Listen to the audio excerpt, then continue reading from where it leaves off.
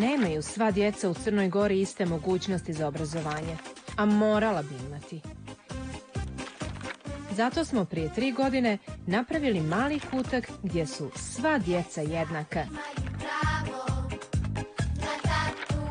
Gdje zajedno smanjujemo prepreke, a povećavamo mogućnosti. Već tri godine zajedno radimo domaće zadatke, vježbamo gradivo, otkrivamo talente, razvijamo vještine, družimo se. Već tri godine zajedno rastemo. Preko dvije stotine djece je bilo dio programa. Održano preko 3000 časova pomoći u učenju. Preko 500 psiholoških i kreativnih radionica. Podijeljeno je preko 2000 komplet pribora za školu. Obezbijeđena besplatna užina u školi za 860 djece. Za dio djece obezbijeđeni besplatni treninzi. Uručene brojne donacije, hrane, obuće, odjeće. Preko 80 volontera pružalo podršku djeci. Nastavljamo dalje da širimo našu priču, jer vjerujemo da je obrazovanje i socijalna integracija jedina šansa da naši drugari imaju ljepši život. Učionica, družionica, iste mogućnosti za svu djecu.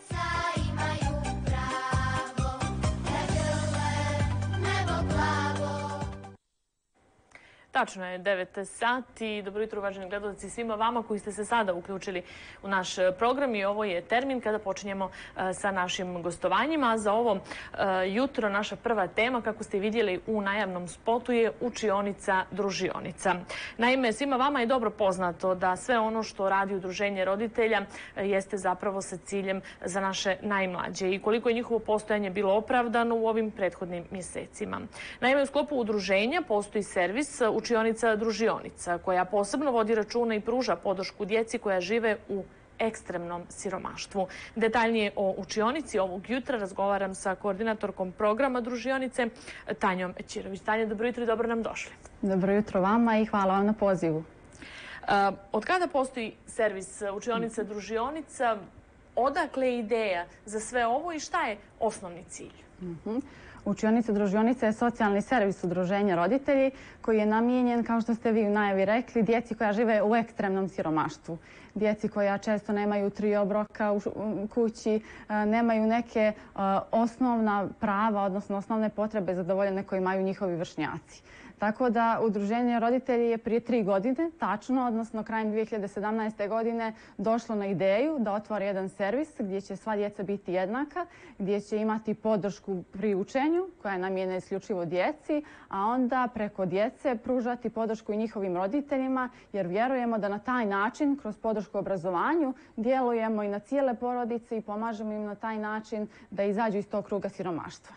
Kao što sam rekla, ovih dana slavimo naš rođendan i negdje prosto smo zadovoljni svim tim što smo uradili u proteklom periodu, u protekle tri godine um, od postojanja. Uh, evo, u ovom proteklom periodu od uh, tri godine, koje su to aktivnosti ili projekti hmm. uh, koje ste realizovali, na koje ste negdje najviše ponosni i šta je moglo bolje? Mhm. Zaista, tri godine jeste dug period i onako kraj godine i prosto rođendan jeste datum kada je prosto pravo vrijeme da se osvrnemo i da vidimo šta je to iza nas i šta smo to sve uradili. Zaista smo ponosni na one brojke koje su iza nas. Kao što su gledalci imali priliku da vide u video zapisu koji smo pripremili, eh, preko 3000 časova je održano sa djecom koja dolazi iz socijalno ugroženih porodica. Eh, realizovano je 500 radionica kreativnih, edukativnih koje realizuju eh, volonteri, dobrovoljci koji prosto svoje vrijeme posvete djeci i pripreme nešto što je za njih kreativno, gdje mogu da nauče neku novu vještinu, nešto što je prosto bitno za njihovu socijalizaciju. Osim toga realizujemo i psihološke radionice koje realizujemo u saradnji sa udruženjem psihologa, Ali, pored svih tih brojki, mi smo zaista najviše ponosni na ono što se brojkama ne može izraziti. A to su prosto dječeja prijateljstva koje su tu sklopili, e, zagrlja i naučene nove vještine, popravljene ocjene i prosto to što je učionica družionica postala omiljeno mjesto svima njima. Mjesto gdje se rado vraćaju i gdje prosto svaki put kad idu pitaju kada ćemo doći sljedeći put. Zaista nam je bilo divno šta ćemo sljedeći put raditi, šta ćemo naučiti. Tako da smo zaista ponosni na to što smo izgradili e, jednu oazu gdje su oni sigurni, bezbjedni, gdje je prosto podržavajuće okruženje za njih. E, koliko djeca znaju pa da upotrebimo onaj izraz da iskoriste sve ono što im vi nudite, zapravo koliko su djeca otvorena za saradnju? Mm -hmm.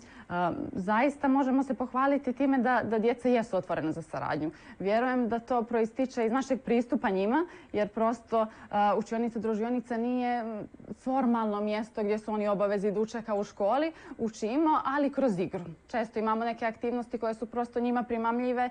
E, imamo radionice gdje oni nešto nauče uh, spontano, prosto, a da nisu svjesni toga. Osim toga, volonteri koji su negdje malo stariji od njih ili prosto ljudi koji imaju slobodnog vremena e, posvete svoju ljubav, pažnju, vrijeme upravo njima i djeca zaista znaju to da prepoznaju, da cijene i da vrate onako kako samo djeca umiju.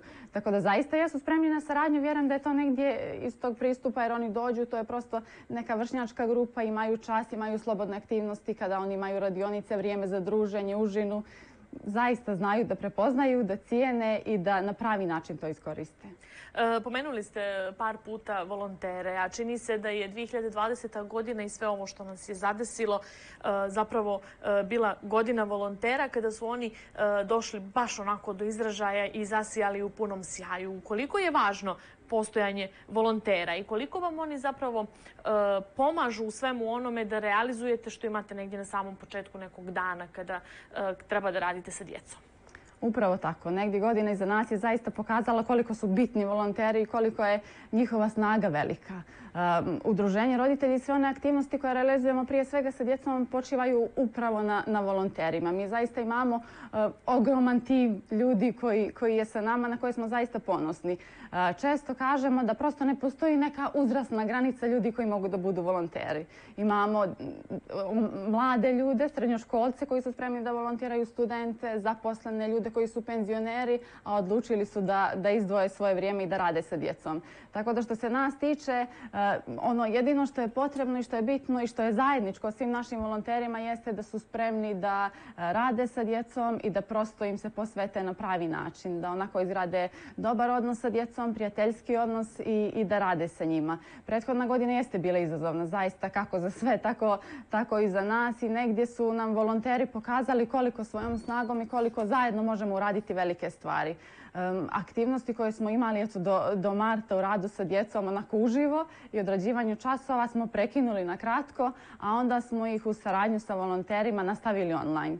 Tako da smo preko Vibera cijelo vrijeme dok su trajale e, one mjere, prosto kad smo svi bili kući volonteri, pružali podršku djeci. Zaista onim trenucima kada ni njima nije bilo lako da se posvete nekim svojim obavezama koje vjerujemo zaista da su imali, e, oni su nalazili vrijeme da, da rade sa djecom, ali to naravno bilo otežano jer zaista ne može, ne može to biti isto kao uživo kad rade, ali onoliko koliko su mogli u tom trenutku da im pomognu da objasne šta to nije jasno, da pomognu da završe domaći zadatak, sve su to ovaj odrađivali uspješno. Um, ostalo je još malo dana do 2020. Da li možda planirate, naravno uz poštovanje svih epidemioloških mjera, da organizujete neko druženje sa djecom? Mi u skladu sa mjerama i sada imamo e, časove koji su individualni ili u nekim zaista malim grupama. Malim u odnosu na to kolike su te grupe djece bile ranije kada, kada smo radili, kada ove mjere nisu postojale, ali zaista onako ta neka mala druženja realizujemo i ovih par dana i vjerujemo da ćemo ih i posle praznika koji slijede opet nastaviti. Negdje nas je ova godina naučila da zaista ne možemo planirati i ne možemo sa sigurnošću reći kako će to izgledati posle praznika, ali ono što zaista zaista možemo da kažemo jeste da ćemo se truditi da budemo i dalje tu za djecu, jer zaista smo negdje i pogotovo ove godine prepoznali da je socijalna integracija i obrazovanje upravo ono što je ovoj djeci najpotrebnije da prosto imaju bolje uslove u životu. A sa prvim danima nove godine, da li je u planu neki projekat ili neka aktivnost? Imamo malu pauzu za, za praznike, onda već nakon toga mi se vraćamo onako u običajnim aktivnostima, u običajnim projektima. Vjerujem da će teći realizacija i časova i radionica kao što je to bilo do sada. Sad kažem kako će to izgledati, nismo u ovom trenutku sigurni da li će biti online, da li će biti uživo, da li će to biti manje ili veće grupe. Svakako da imamo onako ideja šta da radimo, planova, šta bi to sve valjalo da u 2021. realizujemo, pa vidjet ćemo na, na koji način. Svakako ćemo se prilagođavati onako uslovima i situaciji u našoj zemlji.